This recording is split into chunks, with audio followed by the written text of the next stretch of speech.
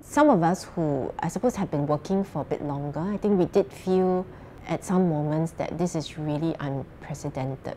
It, I had an older colleague who said to me, of all the tough times, you know, he has worked through um, in the public service, nothing came quite as close to this in terms of um, managing the country and steering um, agencies' responses uh, through the turmoil.